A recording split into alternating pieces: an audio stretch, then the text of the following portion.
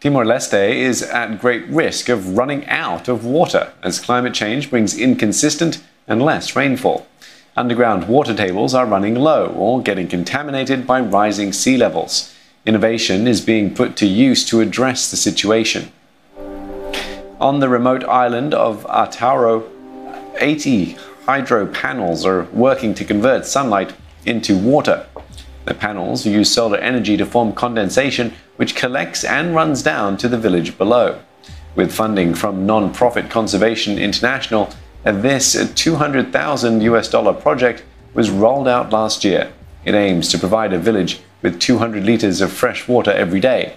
This is the type of innovation being rolled out in places around the world suffering from water shortages, as the effects of climate change start to be felt more dramatically. A quarter of Timor Leste's population is already experiencing water scarcity. That means 350,000 people.